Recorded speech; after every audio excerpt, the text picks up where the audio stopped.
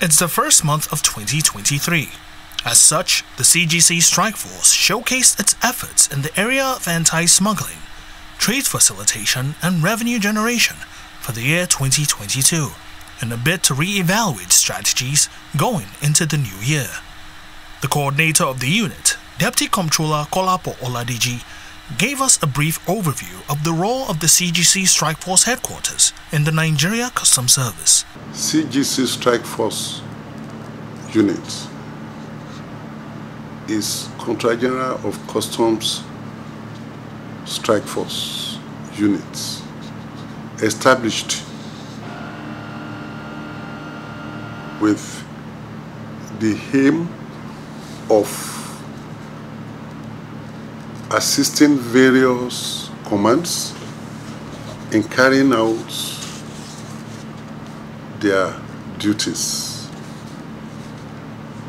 in the area of enforcement and suppression of smuggling, facilitation of trade and revenue generation. We were divided into various zones precisely Zone A, Zone B, Zone C, and FCT stroke North Central Zone.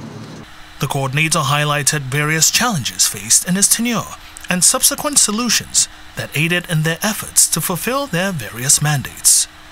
Considering our area of jurisdiction that bordered our neighboring countries, you know, because of the ongoing banditry, issues,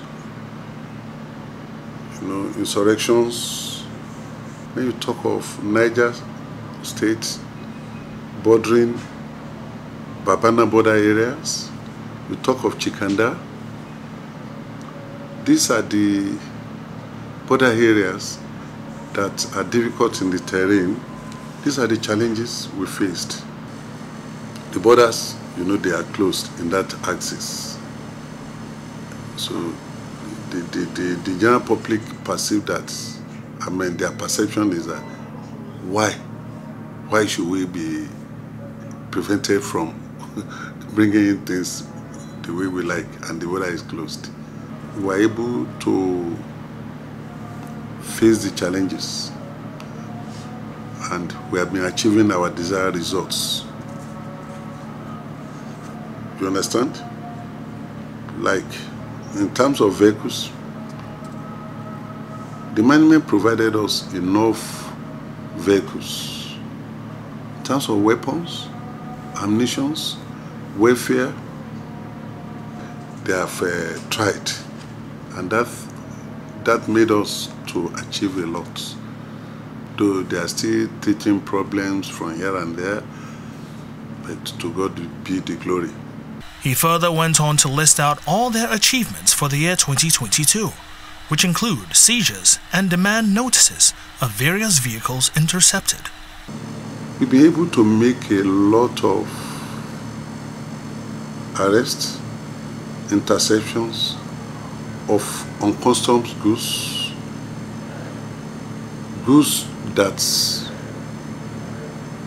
they did not pay appropriate duty since that February up to date,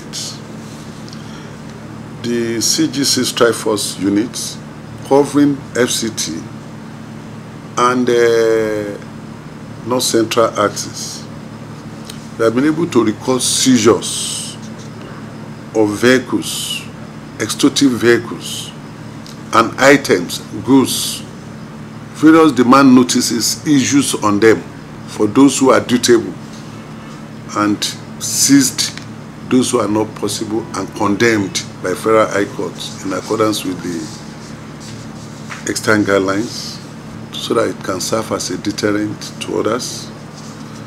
And uh, I would like to let you know, in our units here, we'll be able to record a total DPV of 613 million 687,000 882 naira only.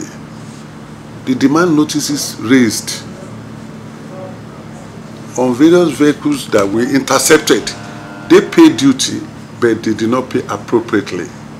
Our unit was able to record extra money to the tune of 222 million naira 81,421 naira. This money will have gone if not for our intervention and this money had been paid into the covers of the federal government.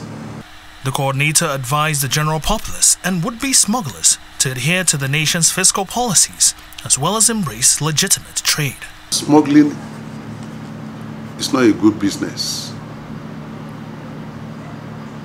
When you are engaging in smuggling, you are engaging in a criminal act. It's a sin against humanity. Every action you are taking is against every citizen of this country. And uh, from spiritual point of view, God may not forgive you. But when you talk of the laws, about the laws of the land, the consequence is severe for you. You will lose your money at the end of the day. So why will you engage in, in illegal business that at the end of the day you will lose out? He assured that his unit will hit the ground running in 2023 and warned would-be smugglers that they are ever vigilant and ready to execute their mandate to curb smuggling to the barest minimum. Abdul Karim Zermi, NCBN, Abuja,